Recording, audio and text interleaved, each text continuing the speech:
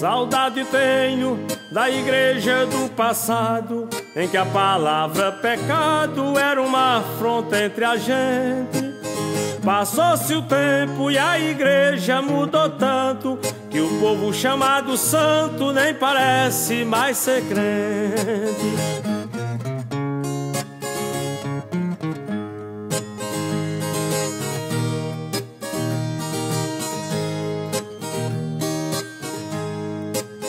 É tanta gente no pecado se afundando e nós os crentes brigando por dinheiro e posição.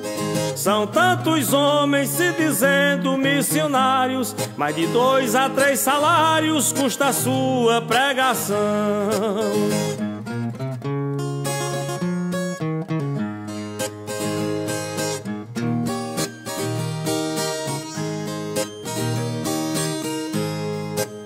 Hoje na igreja que garante ser de Cristo, quem tem dinheiro é mais visto, mais honrado e mais querido.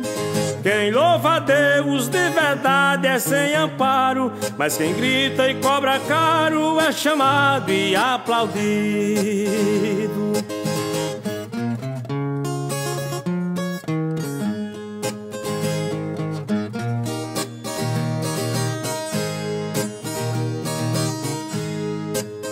Os pregadores fazem tanto movimento, pregando um avivamento por eles mecanizado.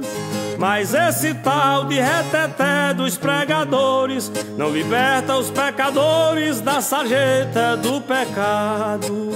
Mas esse tal de reteté dos pregadores não liberta os pecadores da sarjeta do pecado.